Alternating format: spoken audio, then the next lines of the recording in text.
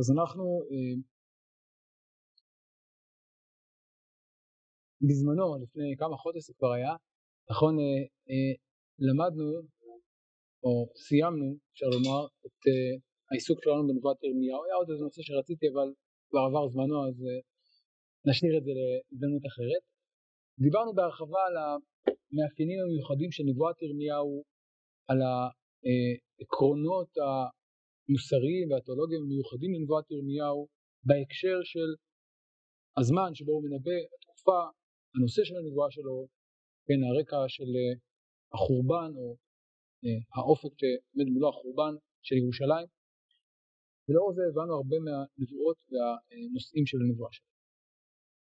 היום בסדרת השיעורים שנתחיל היום אנחנו נעבור לנביא פחות או יותר בין אותו זמן בין זמנו הצעיר אפשר לומר של, יחזקאל, של ירמיהו הלא הוא יחזקאל וכפי שנראה עוד מעט יש הרבה דמיון והרבה קשר והרבה קרבה בין יחזקאל לבין ירמיהו בהרבה נושאים, אבל יש גם הבדלים מאוד עמוקים ביניהם.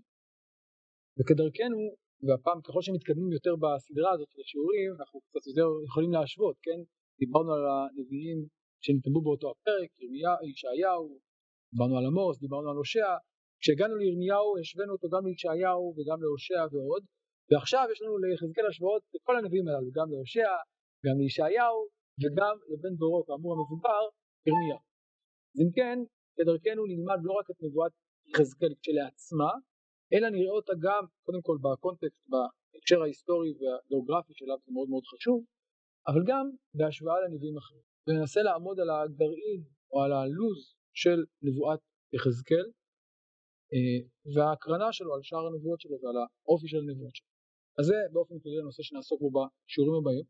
אז לא נלמד כמובן את כל ספר יחזקאל, אבל ננסה לגעת בנושא שהוא בעיניי נושא אה, יסודי ומרכזי והייתי אומר אחד החידושים הגדולים של נבואת יחזקאל ואחד הייתי אומר התפקידים העיקריים של הנבואה שלו בתולדות עם ישראל. על זה בואו נרחיב את הדיבור כשנתחיל ללמוד את הספר. אז בואו נפתח ספר יחזקאל, פרק א', פסוק א',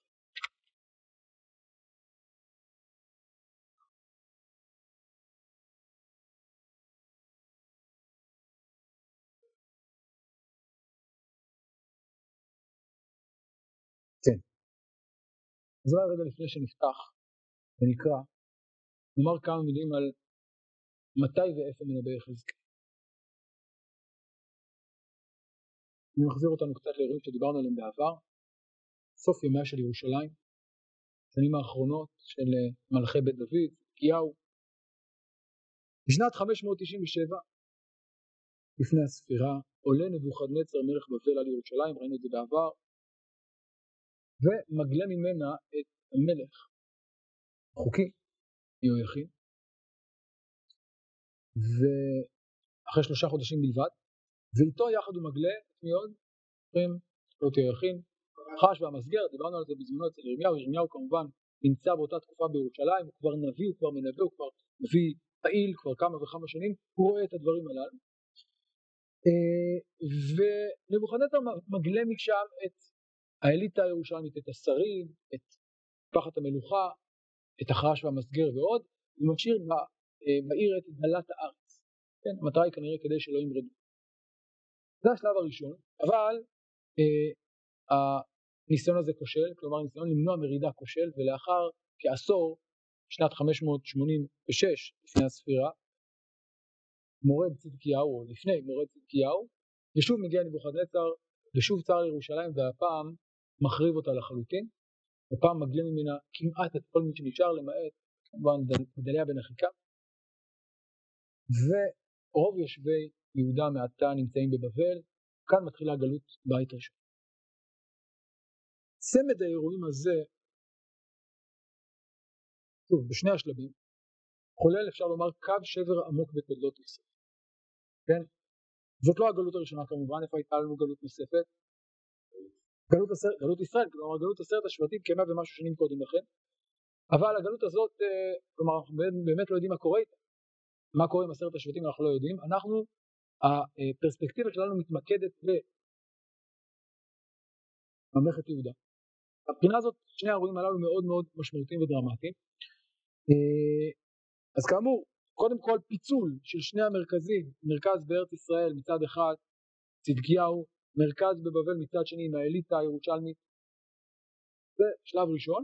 השלב השני זה מחיקה מוחלטת, אובדן מוחלט של ירושלים, של המקדש, חורבן וגלות טוטאלית.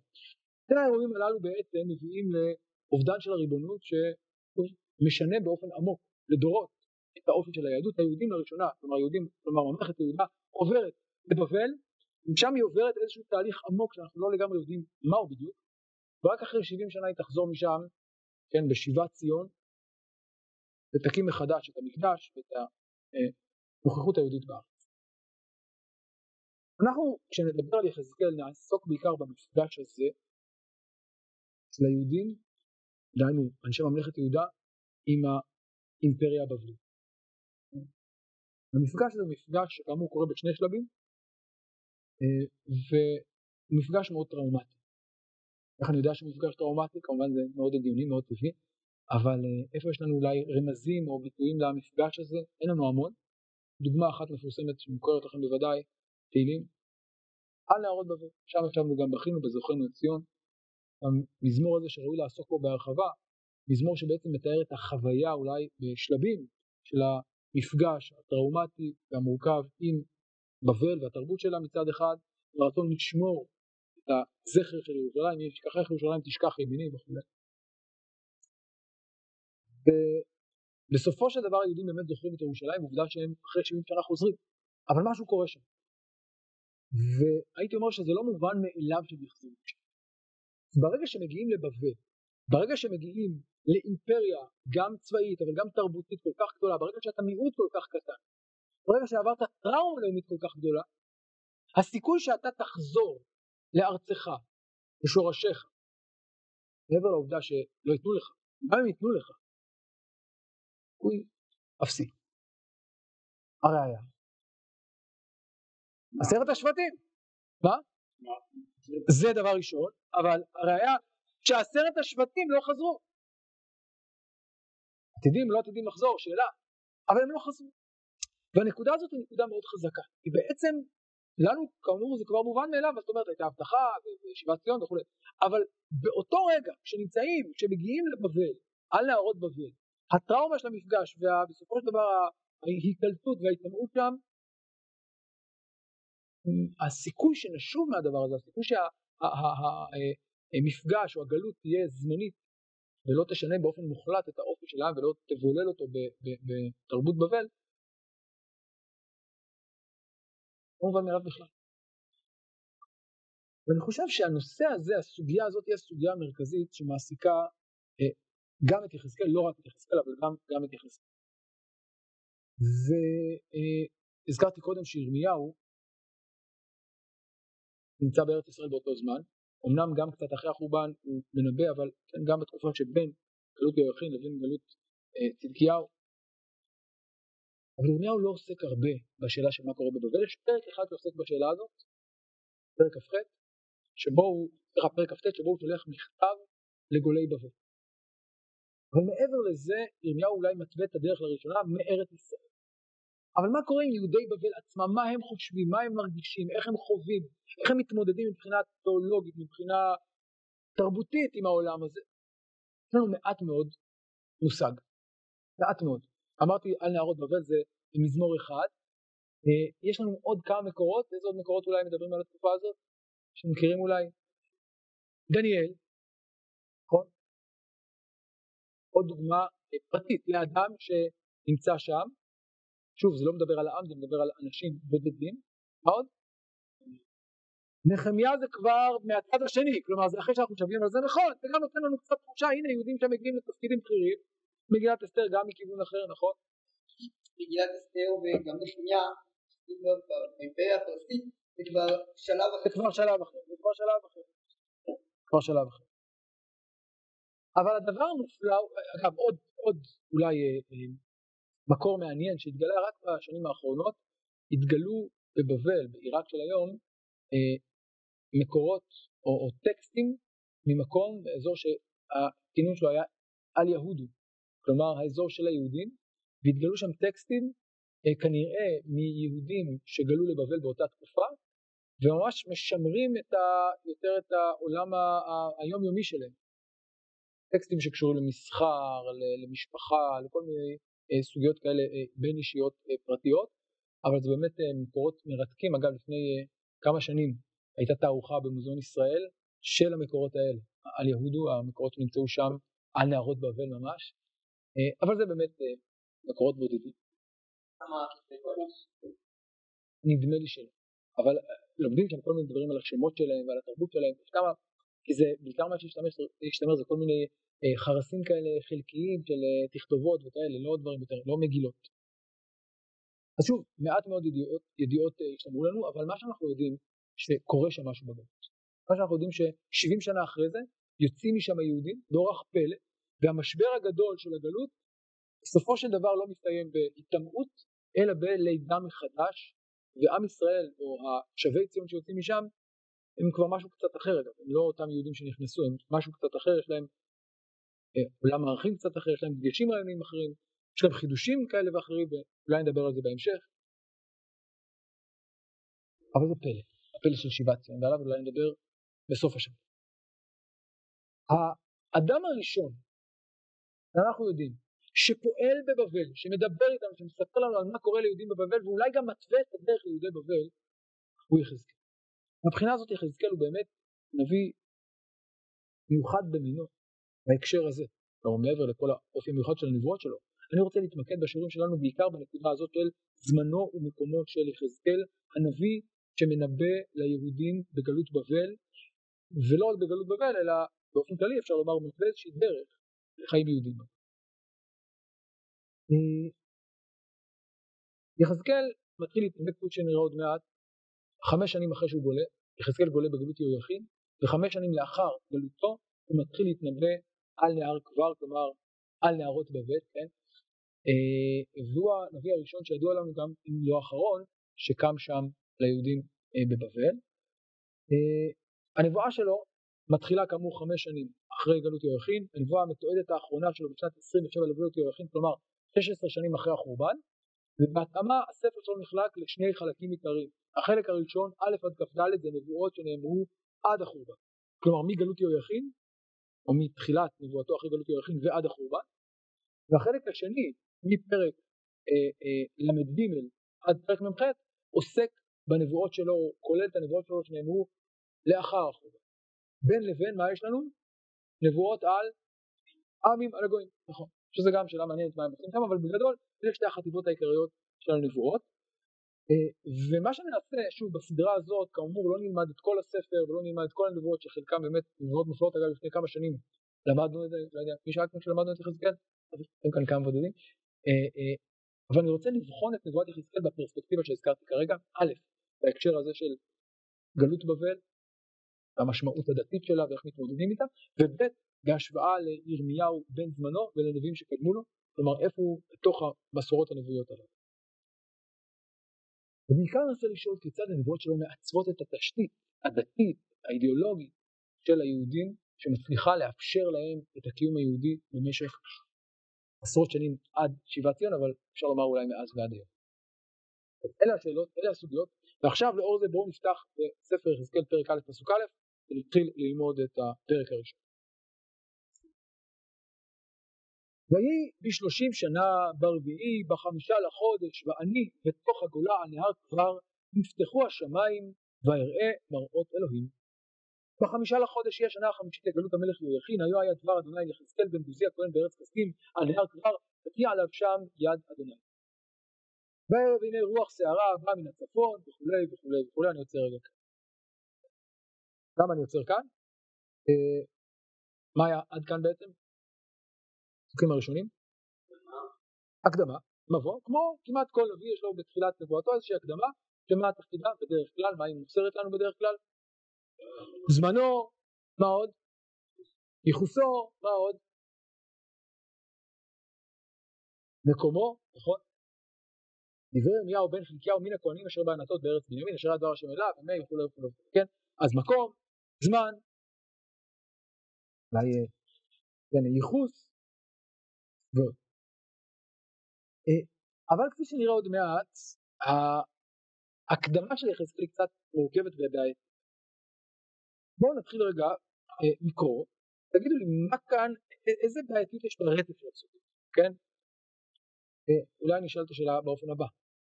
פסוק א', פותח ויהי שלושים שנה ברביעית בחמישה לחודש ואני בתוך הגולה על נהר כבר, נפתחו השמיים והערם מראות אלוהים. מהו ההמשך של פסוק א', מבחינה עניינית, מבחינה סגנונית?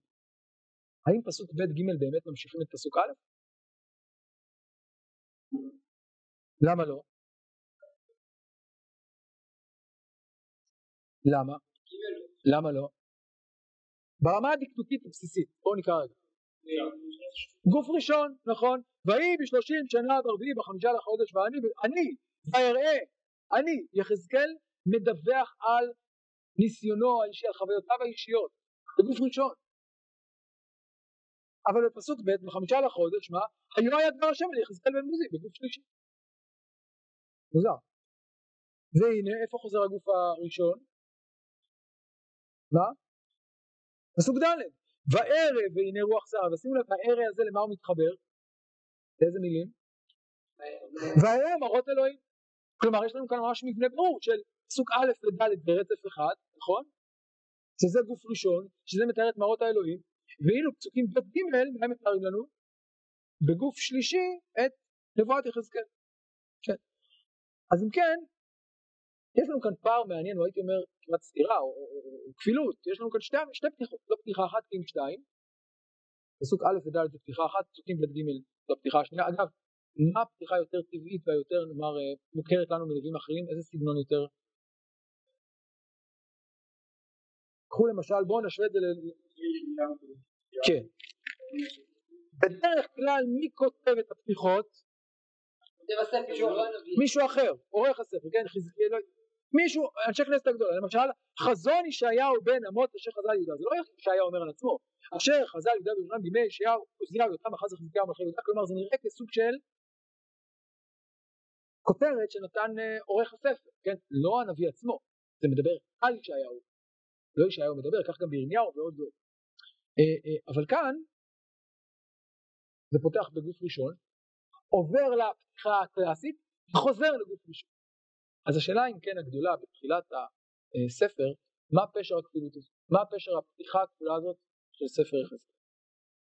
ואולי בצורה יותר חדה, מה פשר הפתיחה בגוף ראשון בספר, בפתיחות שבדרך כלל הן בגוף שלישי, כן, מה, מה היחס בין הפתיחות האלה?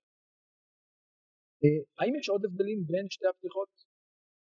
היינו עוד שוב, שוב בפתיחות, פסוקים, רגע רגע קחו איזה דקה, תתבוננו רגע בפתיחות, פסוקים א', ד' וב' ג', איזה עוד הבדלים אפשר למצוא בין הפתיחות הללו? ההשוואה בין התיאור הנבואי של בפסוק א' מתואר בהם אורות אלוהים, כן, וצוריון טוב ותהי עליו שם יד השם, גם זאת אומרת מראות אלוהים זה משהו יותר ספציפי, יד השם זה יותר אה, כללי. זה כללי, אני חושב, אל מה? קודם כל מתואר מה הוא ראה, כן, מתאר ממש את מה שהיה שם, עוד יד השם זה איזשהו תיאור תראו על עצם זה שהייתה בכלל נבואה. חוץ מזה, והיה מראות אלוהים זה נורא בומבסטי, נורא גדול, נורא משהו. ותהיה עליו יד השם, אפשר לראות גם על יד השם, אבל כן. יד השם משהו... אוקיי, מעניין. אתה אומר בגוף ראשון מתאר אולי בצורה יותר חווייתית, משהו, חוויה בצורה יותר, יותר ספציפית גם, כלומר זה לא יד השם, זה, זה מראות אלוהים ממש, עוד מעט נראה שזה באמת מראות אלוהים, כן. יפה, עוד הבדלים, כן.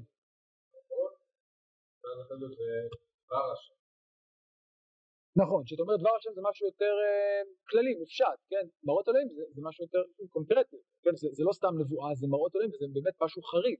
עוד מעט נראה שהמראה הזה באמת מראה חריג, כן.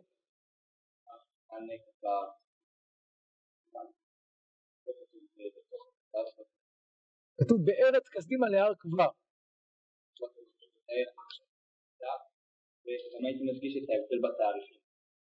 תאריכים נכון זה בשלושה שנה ברביעי בחמישה לחודש. מתאר איפה הוא נמצא עכשיו. זה מתאר את המצב ההיסטורי. יפה. אז אני רוצה רגע להתמקד, נתחיל רגע מההבדל הראשון שלך, באמת הבדל מעניין. ואני בתוך הגולה. ואני בתוך הגולה. מה ההבדל בין ואני בתוך הגולה לבין היו היה דבר השם אל יחזקאל בארץ כסדים על נהר כבר בארץ חסדים, כן.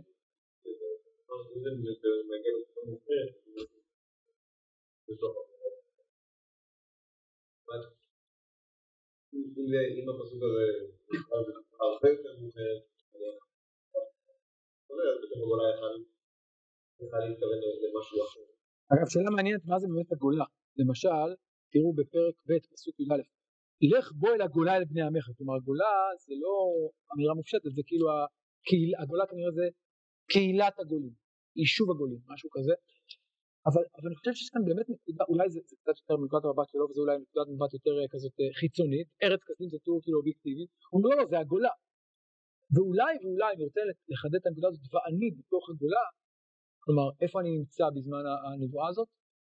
שוב הגולה זה גם אמירה זה גם כינוי של מקום כלומר בקהילת הגולים אבל זאת אמירה בעיניי שהיא אמירה שיש לה השלכות מרחיקות לכת על הנבואה הזאת ועל כל הנבואות הבאות.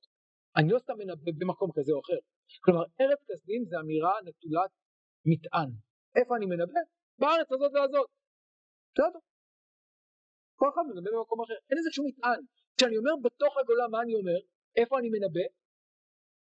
כלומר זו רק מקום זה אולי גם קצת מצב, סיטואציה, מציאות, נבואה, כלומר פסוק הפתיחה של יחזקאל על עצמו אומר לנו אני מנבא או מתחיל את נבואתי הראשונה, אני רואה מראות אלוהים איפה?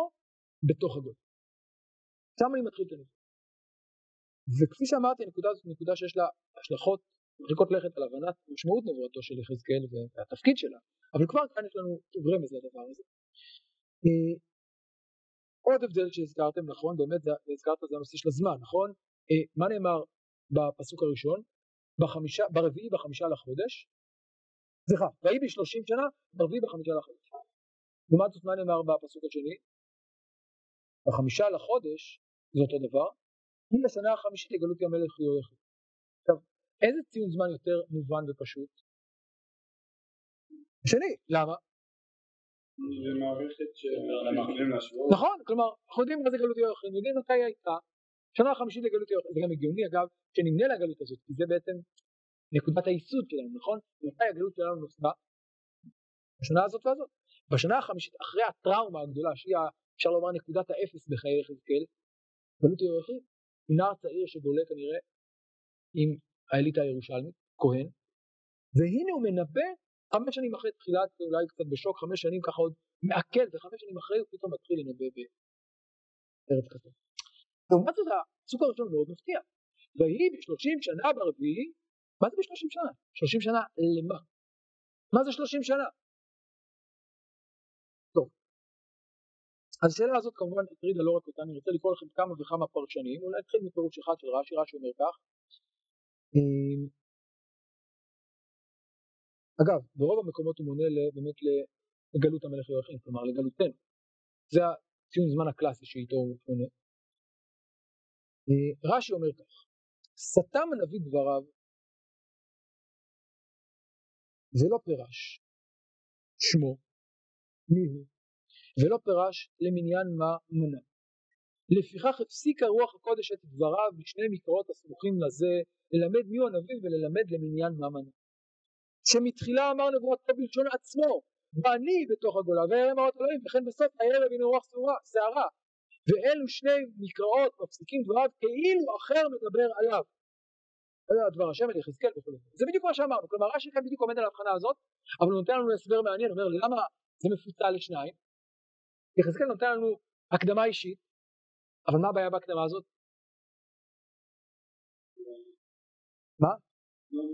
היא לא מובנת בשלושים שנה, שלושים שנה למה? ואני בתוך הגולה, מה זה הגולה? על מה אתה מדבר? מה, קורה פה? כלומר, הכניסה לפסוק א' היא כניסה שלא מסבירה לנו את ההקשר למי שמגיע מבחוץ. כן? לכן בא מישהו אחר, הוא אומר שזה כנראה רוח הקודש, או אנשי כנסת הגדולה, כפי שאומרת הגמרא והבטרה, כן. אה, אה, ולאור זה אה, אני רוצה להציע שבאמת יש כאן, זה לא מקרה, ממה נובעת הכפילות הזאת של הפתיחה של יחזקאל? העובדה שהספר הזה נכתב קודם כל כמה?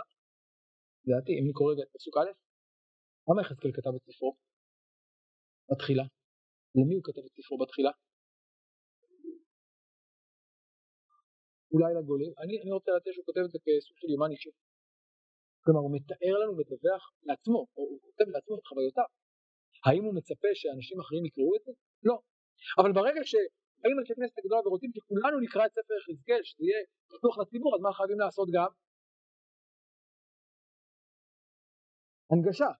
כן? הוא כותב לעצמו, ואני בתוך הגולה, אני יודע מה זה הגולה, בשלישי, בשלושים שנה, שלושים שנה עוד מעט נראה למה, בחמישי, ברביעי, בחמישה לחודש וכו', כלומר, אני בתוך הגולה ואראה מראות אלוהים, אז רגע, רגע, רגע, לפני שתמשיך, ניתן לך קצת, כן, לקורא, שלא מכיר, מי זה האדם הזה שמדבר? אה, זה יחזקאל בן בוזי. ומתי הוא מדבר? בשנה החמישית. ואיפה הוא מדבר? מה זה גלותנו? מה זה הגולה? על מה אתה מדבר? כלומר, לפי התיאור הזה, אני רוצה להציע שיש לנו כאן בעצם, היה במקור, היה א', ד', ואז הפסיק הרוח הקודש, הפסיקו אנשי כנסת הגדולה את דבריו, ובעצם הוסיפו כאן הערת הבהרה. פתיחה, כמו כל הנביאים, שבא להסביר לנו מי הוא ומה הוא ומהו ההקשר ומהו הזמן, במונחים שכולנו מכירים, כן. באמצע ולא בהתחלה. ולא בהתחלה. זו שאלה מעניינת. בשביל החוויה הזאת. מה? בשביל המושב אין לי תשובה לזה. שמה? קברי. לשמר את הפתיחה המקורית. כן, יש משהו חזק. אני רוצה, אני רוצה, יש בזה משהו חזק. אתה קורא את הפסוק הראשון, לא סתם אמרתי, זה באמת פסוק ש... שהוא מכניס אותך לתוך העולם שלו. ויהי בשלושים שנה, ברביעי בחמישה, ואני בתוך הגולה, אני כבר נפתחו השמיים והיום אמרת לי, וואו, זה פסוק ש... שאי אפשר, אפשר לדחוף אותו לסוף, זה לא, זה לא מתאים, להתחיל בחמישה לחודש, היא השנה החמישית, לגלות המלך היחיד, זה קצת אה, טכני מדי. הפסוק הזה הוא פסוק סוחף, פסוק שמכניס אותך לתוך העולם של יחזקאל, ואז צריך רגע להפסיק, טוב, קראת, כן, זה יחזקאל, עכשיו בואו נאמר כמה מילים יחזקאל ואז נחזור לתכלס, מה הוא ראה, כן? אני רוצה להגיד שכמובן זה לא ממש הפסיק, כלומר מתחילים בהקדמה הכללית, בהקדמה האישית, סליחה, של יחזקאל, ואז מבארים אותה קצת יותר בהקדמה מפורטת, ואז אפשר לומר ממשיכים, אבל אפשר לומר מתחילים את המראה עצמו, כן? אז אפשר לומר שיש כאן שתי פתיחות, פתיחה קדומה, פתיחה אישית, ופתיחה כללית. טוב, אחרי הדברים האלה, אני רוצה להגיע לשאלה שאולי הכי מעסיקה כאן את המפרשים, רגע, באיזה 30 שנה? בסדר, פתיחה אישית, נחמד, אבל מה זה אומר? מה זה 30 שנה? 30 שנה למה?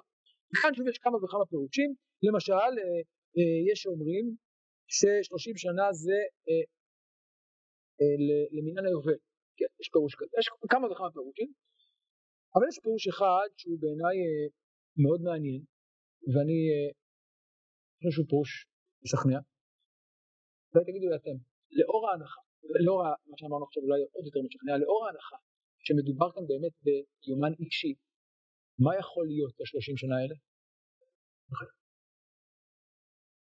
עכשיו זה מוזר, כי אף פעם אין לנו ציון זמן לפי גיל, כלומר, מה פתאום, כלומר, זה, זה לא מקובל לציין לפי גיל של אדם, נכון? ניבאתי את הנבואה בגיל כזה, אין לנו דוגמה לזה. אה, אבל אם אני מניח שפסוקים א' וד' זה המבוא האישי של יחזקאל, אז זה מובן, למה? כי הוא לא כותב שכולנו נדע מתי הוא ניבא, למי הוא כותב את זה? לעצמו, לא יודע לעצמו, ברמה האישית, כן, אז הוא אומר, בגיל, בגיל 30 התחלתי לנבא את הנבואה הזאת. התחלתי את נבואת הבגיל, עכשיו אוקיי, טעות, וכן אולי לא. ואז יוצא שהאורחים, אנשי כנסת הגדולה, מוסיפים תאריך שהוא ידוע לכל, כן, שנה חמישית לגלות המלך היחיד, אבל אוקיי, אם באמת זה נכון, נניח שזה נכון, מה הטעם לכלול את הזמן הזה? מה המשמעות של הזמן הזה כשאנחנו קוראים את הנבואה? האם יש משמעות לגיל 30? למה בכלל יחזקאל משתמש בגיל 30? למה הוא רלוונטי? למה הוא מספר לנו מתי יום הולדת? למה זה חשוב? גם. אוקיי. איפה אנחנו מוצאים את הגיל 30 בתורה? איזה תפקיד יש לגיל 30? נכון, התורה אומרת שהלווים, לא הלווים, לא הכהנים, הלווים מתחילים לעבוד במשכן בגיל 30, נכון? ואז יוצא דבר מעניין, יחזקאל הוא כהן, נכון? כהן שגלה מירושלים לבבל. מה עושה כהן בבבל? מה יש לו לעשות? אין לו בית מקדש, אין לו קורבנות, אין לו מזבח, מה יש לו לעשות? והנה בגיל 30 מתחיל יחזקאל הכהן להתנבא בנהר כבר. זה מעניין, כי בעצם בגיל שבו הלוי מתחיל לעבוד במקדש, מתחיל יחזקאל הכהן לנבא בנהר כבר. אז אולי יש כאן הקבלה מעניינת בין נבואתו של יחזקאל לבין תחילת זמן העבודה. הייתי אומר שלפי זה, אם זה באמת פירוש נכון, שנבואתו של יחזקאל היא מעין עבודת כהן, אבל לא במקדש ולא בירושלים, אלא בבבל ובבלה. כך צריך לתפוס את נבואתו. נבואה שהיא המשך של עבודת הכהן במקדש, אבל ללא מקדש, וללא קורבנות, וללא מזבח, בגלות. כנר כבר, בתוך זה. אה, אגב, זה מעניין שהוא מסיים את זה לאחר 22 שנים, כלומר בגיל 52, מתי הלוויים פורשים? גיל 50. זה קרוב, לא, זה קרוב. כלומר 22 שנים פחות או יותר חופף לזמן העבודה של הלוויים במקדש. אולי יש כאן משהו מעין זה, כלומר יש כאן איזו אמירה שהשירות שלו ככהן בגלות, בגולה, הוא מעין המשך עבודתו ככהן בירושלים. עוד מעט נראה שהדבר הזה, כן אחרי שהמקדש הפיזי עוד מעט נראה התרוקן מקדושה, אה, אולי משהו ממנו עובר. כפי שנראה יחזקאל גם יטבע מונח מאוד מיוחד שאנחנו משתמשים בו עד היום, מקדש מעט. המקדש מעט בארצות, בארצות הגולה, לא בארץ ישראל. טוב, אגב גם יחזקאל בנבואתו גם עוסק הרבה במקדש, הוא גם חוזה את בניית המקדש, הוא מתאר לנו. אז יש כאן קשר מאוד מעניין בין נבואת יחזקאל, במילים אחרות, לבין המקדש באופן כללי, בין חורבן המקדש מצד אחד, בניית המקדש מצד שני, אלטרנטיבה למקדש. אז כבר לפי זה, כבר בפסוק המבוא לנבואתו אנחנו לומדים על הקשר המעניין בין תפקידו ככהן ובין נבואתו ובין בית המקדש. טוב, עכשיו אני רוצה לחזור למה שהזכרתי קודם, להשוואות בין יחזקאל לבין נביאים אחרים.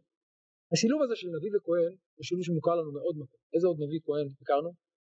ירמיהו. דיבר ירמיהו בן חלקיהו מן הכהנים אשר בענתות מארץ בנימין. הנה נביא שהוא גם כהן. מה עוד משותף לירמיהו ויחזקאל? בן דורו שהוא בצעיר.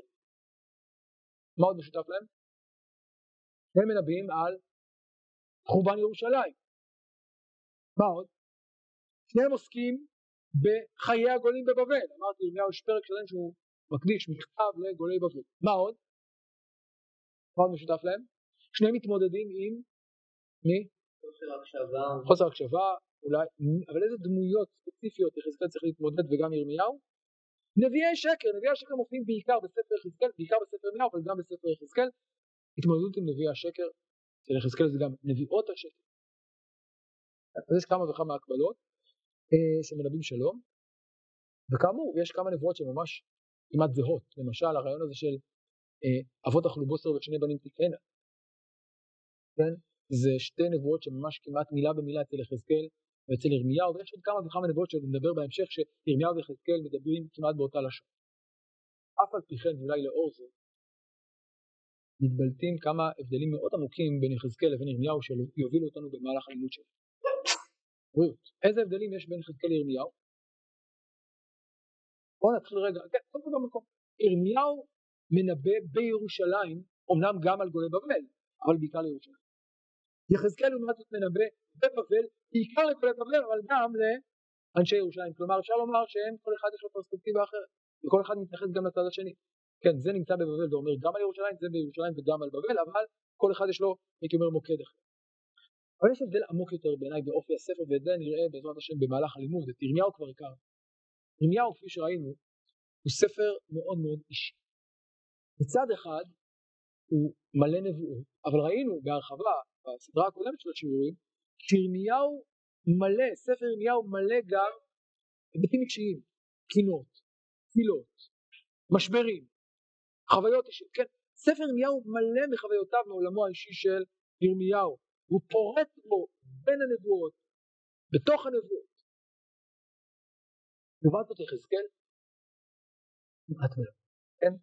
יחזקאל כמעט, כאמור, הוא נכתב בסוג של יומן, הוא אומר לנו ביום זה וזה, בשעה זו, בשנה זו וזה, ביום זה וזה, ראיתי כך וכך. אבל מה יחזקאל חווה, מה הוא מרגיש, מה עולמו האישי, הוא לא מסגיר לנו. ספר מאוד מאוד אה, מרוחק. כלומר הוא מתאר לנו באופן אובייקטיבי, מדויק, מה הוא רואה, הוא מודד כמעט כל דבר, ונראה את זה בהמשך, הוא מפרט בצורה בלתי רגילה דברים שהוא רואה, אבל מה הוא מרגיש, מה הוא חושב, מה הוא חווה, הוא לא מסביר. ספר מאוד מאוד... יש שלב נכון, שהוא מתווה להיעלם, זו גם הערה מעניינת, נכון. אה, אה, טוב, אז זה, זה הבדל אחד. הבדל שני קשור, והוא קשור לזה, לאופי הספר מבחינת המבנה שלו. כן, ספר ירמיהו ראינו בזמנו, ספר מאוד מאוד אה, לא ברור מבחינת המבנה שלו. יש לו מבנה כללי, אבל המעברים בין הפרקים לא לגמרי ברור. מה בדיוק החלוקה, מה בדיוק המבנה, שאלה גדולה. לעומת זאת, ומעט מאוד אגב תאריכים היסטוריים. רוב הנבואות אנחנו לא יודעים מתי ואיפה הם מתרחשים. לעומת זאת אצל יחזקאל בדיוק הפוך. ספר מאורגן כמעט באופן סימטרי, דיברתי קודם על המבנה שלו, ממש מבנה סימטרי. הכל כאן מוקפד, כל נבואה כמעט יש לה תאריך, יש לה זמן, יש לה מקום. אה, אה, אה, והמבנה הזה הוא מפתח גם להבנת הספר, כפי שנראה עוד מעט, המבנה שלו הוא מאוד מאוד מרכזי בהבנת התוכן. עוד הבדל מעניין, אולי הדגשים אצל כל אחד. דיברנו בזמנו על כך שירמיהו יונק הרבה מתורתו של משה רבנו. אומר מתורתו של משה, קודם כל ראינו שיש הקבלה בין משה לבין ירמיהו, נכון? כבר בהתחלה, נכון? אה, נבואת ההקדשה, הנה לא ידעתי לדבר כי נער אנוכי, נכון? ממש כמו משה, וראינו כמה הקבלות בין משה לבין ירמיהו. אבל בעיקר תורת, משנה תורה של משה, מהדהדת בספר ירמיהו, כלומר ירמיהו מצטט הרבה מאוד מספר דברים. בספר דברים יש לו דגשים כאלה ואחרים, למשל הרעיון של התשובה, הוא מאוד מרכזי בספר דברים, נכון? ירמיהו מדגיש אותו הרבה, ראינו את זה בהרחבה. מצטט אותו או מפרש אותו. אפשר לומר שירמיהו הכי קשור בתוך כל החומשים למשנתו, לספר דברים, ספרו של משה. לאיזה ספר קשור יותר יחזקאל? כלומר, דיברנו קודם על זה שיחזקאל הוא כהן, אבל לא רק כהן, אלא הוא גם, לא רק בייחוסו כהן, אלא קודם, כפי שאמרתי, הוא מנבא בפחות או יותר, אולי במקביל לעבודתו, אבל גם אופי הנבואה שלו קשור הרבה לתורת כהנים, לספר ויקרא, למשל, דוגמאות לזה. יפה. אגב, אה, פרשת השבוע, פרשת אמור, נכון? מה? נכון, יש הרבה הקבלות והרבה גם הבדלים, נכון? אה, אבל מי שיעיין בסוף ספר יחזקאל, כן, כל החלק האחרון מ"ח, כן, התיאור של המקדש העתידי והלכות הכהנים, יש הרבה הקבלות והרבה גם הבדלים בין יחזקאל לבין ספר ויקרא, אבל יחזקאל הוא באמת לא רק מביא, הוא גם איש הלכה, הוא גם מביא לנו את הלכות הכהנים, את הלכות המקדש, מקדש וקודשיו. ולא רק שם, גם במקומות אחרים, יחזקאל קשור מאוד בתפיסתו, בדגשיו, לתורת הכהנים, וזה לא מקרה, כי כהן מן הסתם, לא סתם ספר, ספר ויקרא נקרא תורת כהנים, כי הוא באמת ספר שנלמד בעיקר על ידי כהנים, הוא עוסק בעיקר בחובות של הכהנים, במצוות של הכהנים. תורת כהנים. והנה יחזקאל, הייתי אומר שנבואתו היא סוג של המשך או הרחבה או, או, או, או, או, או פיתוח נבואים, תרצו, של תורת כהנים. וכפי שנראה ההבדלים הללו אה, בין הנביאים משליכים על הרבה מאוד נבואות שלהם ודגשים ויסודות אה, אה, שכל אחד מהם מדגיש ולפעמים אולי מתחים מסוימים, אולי כמעט הייתי אומר מחלוקות. אה, וכאמור, רוב הנבואות של יחזקאל מופנות בעיקר ליושבי בבל, כלומר ליהודי בבל, יושבי בבל, ומהבחינה הזאת, אנחנו כבר, אני כבר לא, שאני לא נספיק כבר לפרק א', אנחנו נשאיר, נשאיר את זה לשיעור הבא. מהבחינה הזאת אני רוצה לומר שיחזקאל מייצר כאן איזושהי אלטרנטיבה, תורת כהנים ליהודי הגלות. וזה כבר במבט ראשון, כבר במבוא, כבר בפסוקי הפתיחה, נותן לנו רמז לאן הספר הזה הולך. וכפי שאמרתי, הספר הזה מהווה בסופו של דבר גם תשתית לחיים יהודיים בגולה. ובמובן הזה הוא גם שונה מירמיהו, שמנסה למנוע בהתחלה את הגולה. יחזקאל מקבל את הגולה כפי שנראה כמובן מאליו, כנתון, כמציאות קיימת שאי אפשר כמעט לבטל אותה. ואחרי שהגולה מובנת מאליה וקיימת, השאלה היא מה אנחנו עושים מכאן ואיך, לאן ממשיכים מכאן. מה עושים, איך מקיימים חיים יהודיים במציאות כזאת. זו השאלה הגדולה, זה האתגר הגדול, זה אני חושב אחד מהחידושים הגדולים, מהסודות הגדולים של ספר יחזקאל. אז אנחנו נעצור כאן, אני חושב שעוד נספיק לעיין בנבואה עצמה, אבל נעצור כאן במבוא הזה. בעזרת השם בשיעור הבא נקדיש את הלימוד שלנו למראה עצמו. דיברנו על מראות אלוהים, מהם מראות אלוהים, מה משמעותם, איך לפרש אותם, כמובן זו סוגיה רחבה, יודעים שלא דורשים ממעשה מרכבה, אבל אם לא נדרוש, אבל כן ננסה לחשוב לאור המבואות שפרסנו כרגע, ננסה להבין מה תפקיד המראה הזה במסגרת התפקיד הגדול של נבואת יחזקאל לתוך הגולה. ערב טוב.